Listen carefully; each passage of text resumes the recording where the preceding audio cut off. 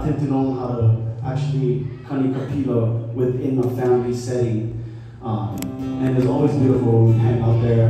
And Uncle Tom would be out there playing his autoharp. Tom would come up from downstairs. Sometimes Nat then would be down here from Guam, and we'd always be over there.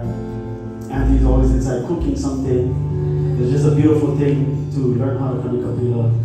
And if you ever got to sit with them, you know one of the most amazing things is how Uncle Tom always had a long cherry of the ash on his cigarette playing, and the thing is dangling, but it never drops.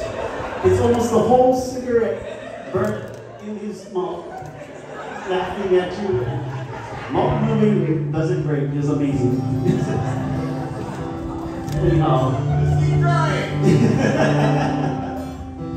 There's too many cigarettes already. Already, it's like you win.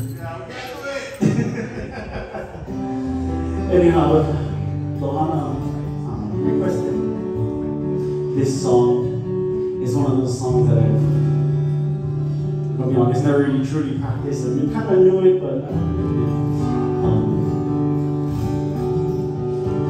I'm gonna send this out to Auntie.